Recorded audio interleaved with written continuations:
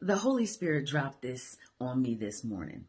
A lot of people question why it's important to cut people out of your life, even family members. The Holy Spirit told me this this morning. Consider yourself a piece of fruit in a basket with other fruit. One of those pieces of fruit starts to rot. That rot will spread to all the other fruit and overtake all the good fruit.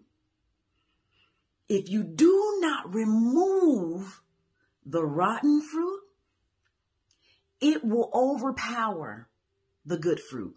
The good fruit does not overpower the rotten fruit. The only way to get rot of the fruit is to cut it off. You have to remove people from your life that are rotten.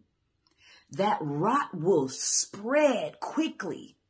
The good does not overtake the rotten. The rotten overtakes the good. That is the importance of cutting people out of your life that are rotten.